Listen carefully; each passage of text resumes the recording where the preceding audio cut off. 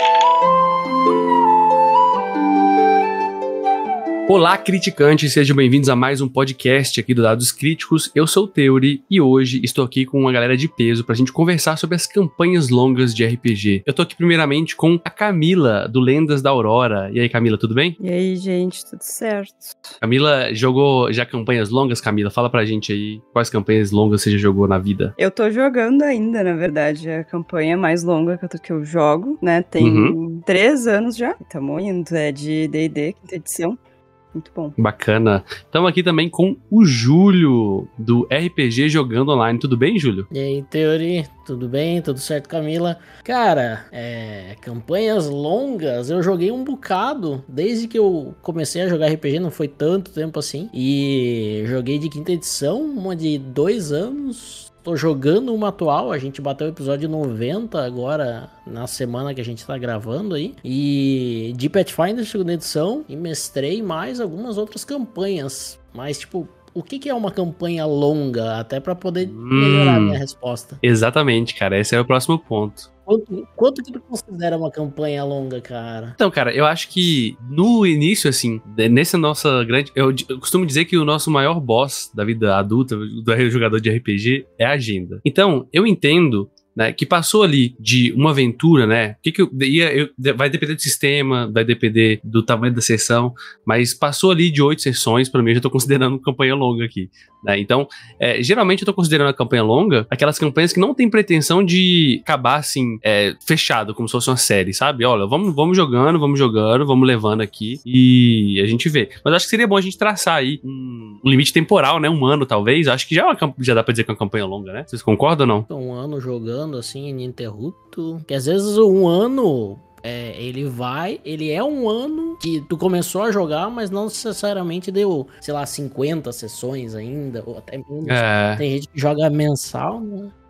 É, foi o que eu pensei também. É. É, é verdade, né? Depende da frequência de sessões. Se a sessão é mensal, por exemplo, em um ano você vai ter 12 sessões, né? 12 Então, sessões? É. Será que dá pra con- considerar o tempo de vida, assim, né, da campanha é uma base? Ou vocês considerariam mais tempo de jogo? O que, que vocês acham? Ah, eu iria pelo tempo de jogo, eu acho. Uhum. Também. Porque é o que os personagens vivenciaram, sabe? Foi uma campanha longa, Uhum. porque poderia jogar uma vez por semestre, foi um dual shot. É verdade. É verdade, é verdade. Verdade. Então, vamos tratar, talvez. Acho que seria interessante a gente pensar em tratar como se fosse horas de voo, sabe? Quantas Boa. horas de jogo essa campanha teve? E eu acho que pra ser uma campanha longa, é acima de 30 horas aí, já dá pra gente considerar uma campanha longa, vocês não acham? Porque aí vai dar, sei lá, dividir por 4, vai dar 10 sessões pelo menos. Vocês concordam ou acho que é muito pouco ainda? Hum, boa pergunta. É, O boa que, que seria uma campanha curta? Exato, né? É muito. É difícil, né? Definir isso. Quando é, definir campanha longa pra mim é mais difícil, mas quando eu penso em campanha curta, eu penso até 10 sessões. Pra mim isso é uma Uhum. campanha curta. Mas considerando que isso seria uma campanha curta, 11 mais é uma campanha longa. Mas Exato. no tempo, 11 sessões ainda não é uma campanha longa, não parece ser, entende? Uhum, verdade, né, cara? É, vamos, vamos tentar tratar dos aspectos mais subjetivos é, que estão presentes nessas campanhas longas, porque eu acho que aí talvez fique mais fácil a gente definir, né? Porque, Uhum. por exemplo, existem várias maneiras de jogar, e eu gosto muito de comparar com série, né? Então você vai ter ali o, o One Shot, né, que tem uma tradução muito legal que o mestre Kiral usou e que eu gostei bastante, que é a dose única, né? Então é o jogo em dose única, que você joga uma vez ali, ele tem início, meio e fim e acabou. É como se fosse o piloto de uma série de TV. Você tem ali uma aventura mais curta, pode ser associado muitas vezes a uma minissérie, três, quatro, cinco sessões, depende da minissérie, você vai ter isso. Até série da Netflix, uma temporada ali, você vai ter oito episódios, né? É, você pode ter, inclusive, aventuras mais longas, né? Uma temporada aí com 10, 20 é, episódios, 20 sessões. E aí eu consideraria uma campanha longa aquelas séries onde a gente tem várias temporadas. Por exemplo, um Lost da vida. Tem 8, 8 10 temporadas, sabe? Game of Thrones, tem várias temporadas que continuam com a mesma história, são aventuras diferentes, talvez em tempos diferentes, mas que já se passaram vários ciclos ali. Teve muito desenvolvimento. Às vezes o personagem mudou, às vezes entrou jogador diferente. E assim, é lógico que isso fica muito subjetivo, né? Porque se eu chegar aqui e falar e traçar assim, ah, é 30, riscamos aqui, passando na linha aqui. Talvez isso não sinta, para depender de determinado grupo, que é uma campanha longa ainda. Porque talvez ele não teve esse desenvolvimento de personagem que eu sinto que acontece em campanhas longas. É, Vocês vocês ressoam com isso ou eu tô viajando aqui? Sim. Eu tava pensando que eu fui olhar as campanhas que eu tinha jogado, né? E tem uma que tá em hiato e ela tem 27 episódios. E pra mim foi uma campanha longa. Mas eu tô Uhum. jogando agora Fim dos Tempos, que também tá com 27 episódios, e eu não consigo sentir que eu joguei uma campanha longa. Uhum. Então, eu acho que, que também é um pouco isso, assim, o que, que os personagens vivenciaram, não sei. Porque horas de jogo deu mais ou menos a mesma, eu acho. Uhum, exato. Talvez esse tempo Ai, dentro da fantasia, sabe? Essa sensação que passou muito tempo dentro da fantasia, talvez numa campanha longa. Porque a, a maior diferença que eu sinto é essa, gente. É, eu queria ouvir de vocês. Porque numa one shot, ela funciona bem para evento. Mas eu sinto que alguns sistemas, eles não brilham na one shot. E algumas aventuras específicas, alguns grupos, eles brilham mais quando tem tempo de você se apegar ao personagem. É. Exato, cara, exato. E você sentir Não- não aquele só- mundo. É, eu não diria se apegar ao personagem, mas eu diria sentir, literalmente sentir o mundo ali, né? Que é bem o que tu falou. Que é, por exemplo, a- as, as aventuras old school, né? Elas, às vezes, não dá tempo de se apegar ao personagem, porque o personagem tende a morrer mais rápido, se o grupo não for cuidadoso. E mesmo assim dá pra jogar uma campanha longa ali, Uhum. conhecer mais o mundo pela visão de mais de um personagem. Verdade, né? O mundo passa a ser esse personagem principal, né? O mundo é, o mundo é, a exploração do mundo é o, o personagem em si, né? Ou às vezes a pessoa, numa campanha longa, ela troca de personagem porque ela já explorou o que queria em, sei lá, em sistemas mais. ah, que, que dão mais espaço pro combo, digamos assim, pro, pra, Uhum. pra montar fichas, né? Um Pathfinder, D&D, o Tormenta, Tormenta 20 e tudo mais. Às vezes o cara monta um personagem, aí ele quer explorar o personagem, ele muda o personagem depois, porque agora ele quer explorar outro. Dentro da Uhum. mesma campanha, aquilo ali gera um, um conhecimento do mundo como um todo, que aí ele tende a entender que é uma campanha longa. Que é o que Uhum. a Camila, a Camila fa- falou agora há pouco, que ah, eu tenho duas campanhas com 27 sessões e uma eu, não me parece longa, a outra já me parece. Eu, eu também tô nessa, nessa ideia aí, mais ou menos, porque eu tendo a mestrar aventuras ali com 16 a 20 sessões, e algumas, elas, pensando agora que, que passaram, elas eram aventuras prontas, mas eu não considero que era campanha longa, não. Uhum. Talvez é uma história que tá autocontida. E uma aventura longa ela tende a, a se expandir um pouco mais, que é o que tu falou das, da série. Então talvez a aventura longa ela contemple uma, uma ideia de você ter mais de um arco de história acontecendo, sendo desenvolvido ali. A partir do momento que tu tem três, quatro, cinco arcos diferentes que aconteceram, não necessariamente conectados, mas a conexão é acabou esse, vamos pro próximo, aí sim tu tende a começar uma aventura longa. Uhum. É. E, e- e você falou, Camila, que, por exemplo, uma você considera uma campanha longa e a outra não. Você sente assim que, por mais que você não considere uma campanha longa e a outra não, o seu nível de diversão é equivalente, assim? Dá pra se divertir em ambas? Ah, isso aí é uma questão. Assim, eu acho que sim. Dá pra se divertir em qualquer situação, né? Um one shot pode ser divertido, uma campanha curta pode ser divertida. Mas eu tendo a gostar mais de campanhas não prontas, porque Fim dos Tempos é uma campanha que foi escrita e a gente tá jogando, né? Ela é pronta. Uhum. E essa que eu não senti tanto essa vibe de, de campanha longa. A outra, o mestre criou tudo do zero. E pra mim é muito mais divertido. E a, a outra campanha que eu tô jogando faz três anos também foi criada do zero. E essa, pra mim, é a que eu tenho mais, mais carinho, assim. Tipo, eu vou ficar muito triste quando acabar, sabe? Uhum, entendi. E- então, assim, é o quanto os jogadores talvez conseguem interferir naquele mundo. Isso também faz diferença. É, acho que sim. Acho que tu faz isso muito bem, inclusive, né, que a gente tá jogando. Porque a gente tem muito, muita fala ali. Tu sempre pergunta pra gente dar um detalhe, alguma coisa. Eu acho que isso ajuda muito nesse, nessa questão. É. Na criação coletiva, é isso? Isso. Uhum. Ah, É, bacana. Até puxando a questão que tu falou em horas de voo, digamos assim, a gente tá, sei lá, se fosse, digamos assim, uma sessão normal, ela bate ali suas 3, 4, 5 horas, né? Uhum. Tem, tem campanhas no YouTube que às vezes batem 6, 7 horas por sessão, né? É, A nossa é uma campanha onde as sessões elas são muito curtas, então eu já considero que a gente tá num estilo de uma campanha longa. A gente abriu alguns arcos, alguns rumores e já começou a explorar algumas coisas. Então aí Uhum. ela já, ela já é, se acabasse, sei lá, na próxima sessão eu já considero que foi uma aventura longa que a gente explorou algumas coisas ali, entendeu? Entendi. Eu acho. Ele, assim, eu tô. A gente gente tá conversando aqui, eu fico pensando, né, que parece, né, o que, que faz a gente considerar mais é o quanto tempo a gente sente. Uh, tô, não sei se eu tô viajando aqui, mas imagina o seguinte: imagina que a, o quanto de sensação que a gente tem que a gente ficou num mundo que não é o nosso, sabe? Tipo assim, ou seja, o, o, tanto de imersão que a gente conseguiu ter.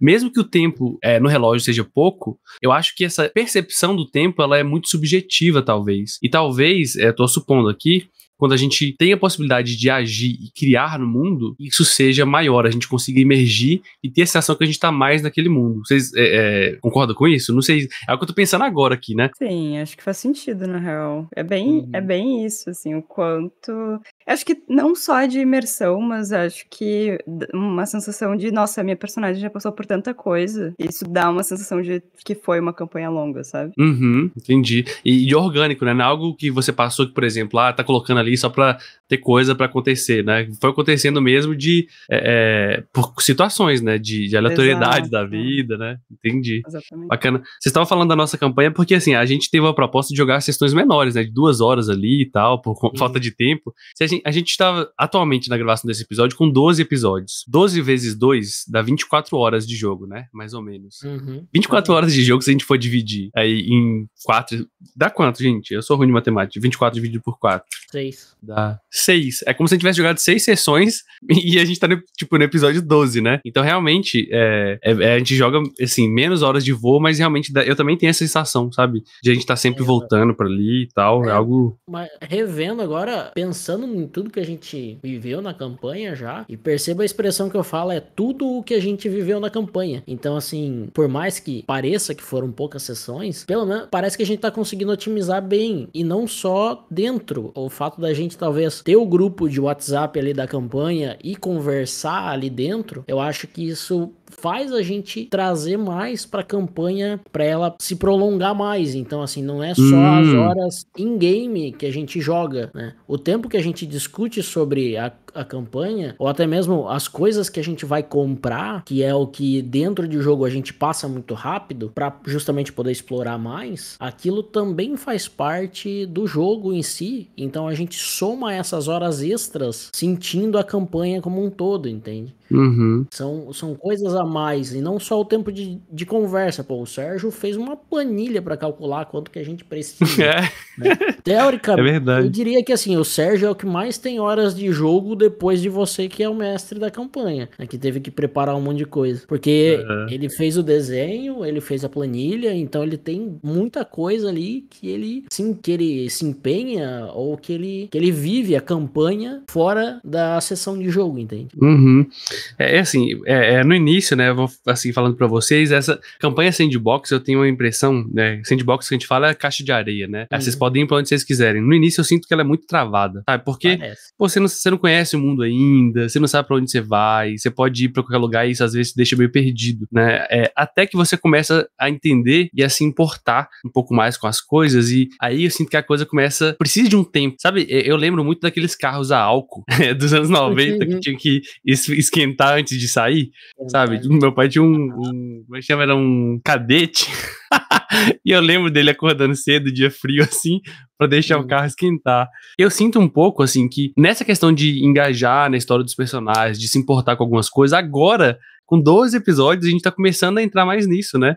Parece, cara, se você fala pra pessoa, nossa, eu tô em pouco tempo, vou jogar 12 episódios para isso, mas eu tenho sentido isso, assim, que a partir de agora, assim, a gente tá começando a engatar mais, você começa a conhecer o jeito do outro jogar também, né? Eu acho que a relação dos jogadores, do mestre, do modo geral, a relação social de pessoas, ela influencia diretamente no jogo. E uhum. quanto mais oleada, assim, é, mais bem azeitada essa relação tá, mais fluido fica no jogo, eu sinto. Então, não tem como você forçar uma relação social com alguém que você acabou de conhecer ou que você tá jogando pela primeira vez junto, sabe? Eu, e eu acho que às vezes a campanha longa ela brilha nisso. Porque eu não sei se vocês tiveram essa experiência, eu queria até perguntar para vocês. De que, cara, tem coisa que você vive, a relação que você cria com a pessoa que você jogou uma campanha longa é, é uma relação diferente, cara. É uma relação, tipo, de uma amizade um pouco profunda, assim, sabe? No sentido de, tipo, uhum. beleza, não precisa nem ser amizade de, falar de tudo, mas é, você sente que você tem uma conexão diferente com aquela pessoa, porque, cara, vocês viveram muito tempo diferente, tipo assim, num lugar completamente diferente da sua vida, cara. A gente, eu mestrei Rhyme aqui, né? A Rhyme of the Frost Maiden, né? Que é uma aventura pronta da quinta edição, durante quase dois anos em live, né? E, tipo assim, por mais que fosse uma aventura pronta, a gente foi para muito. Teve casamento, pra vocês terem noção, né?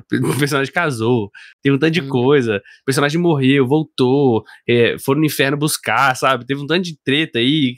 Nossa, aconteceu coisa demais que não tá na campanha, sabe? E quando terminou, cara, fica aquela sensação mista de, pô, velho, que foi tão legal. Mas uma é. sensação mista também de tipo, pô, que pena que acabou, cara. Que saudade daquele, daquela relação que a gente construiu ali, sabe? Não sei se vocês sentiram isso também nas campanhas de vocês. Já, já senti, cara. Tu chega a pensar e a viver uma situação real, conversando com os amigos da campanha, de, digamos assim, ah, tu tem um personagem chamado, uh, sei lá, Alberto. Aí tu fala, tá conversando com o pessoal, meu, isso é uma coisa que o Alberto faria. Só que, pô, é o personagem uhum. lá dentro, sabe? E, Exato, a, cara. A campanha longa, ela te proporciona esse tipo de coisa, assim, que é tu começar a trazer a, as coisas que o personagem faz pro mundo real, digamos assim. Não só viver lá aquele momento, mas tu trazer ele pra cá. Eu acho que isso pode até, pode até definir parte de, dos elementos de uma campanha longa, né? Uhum. É, não obrigatoriamente, mas isso tende a acontecer você perceber as coisas que o personagem faria na vida real. A personalidade dele, né? Eu sei, por exemplo, como a Karma diria, como que o Droda diria, o Nilarkin. Uhum. Porque, cara, exatamente, Sim. cara, você passa a saber.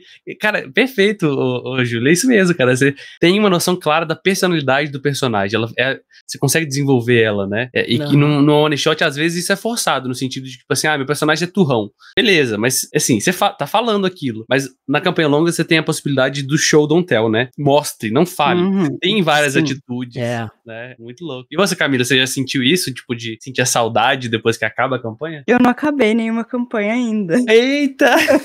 Nossa. Então, não sei, mas isso de das relações, eu acho que talvez eu tenha tido experiências muito específicas, porque essa campanha dos três anos, por exemplo, eu tinha um amigo e ele disse: Vou começar a jogar RPG com os meus amigos de escola. Quer jogar? Jogar. Aí eu pensei, porra, vai ser uma merda, porque todo mundo se conhece, eles são super amigos, ninguém sabe quem eu sou, eu ia ser a única guria, que é o que normalmente acontece. Mas eu falei, beleza, vamos lá, vamos tentar. E, tipo, hoje, eu, eu diria que eles são uma das minhas maiores redes de apoio, assim. Qualquer coisa que eu precisar, eu sei que eles vão me ajudar. Eles moram todos aqui em Porto Alegre, né? Então, a gente se vê com muita frequência, a gente se fala com muita frequência, saiu muito do jogo, assim. Eu entrei no grupo de amigos que não faria sentido eu pertencer se não fosse o RPG, sabe? Que foda, velho. Que massa, cara. Muito legal.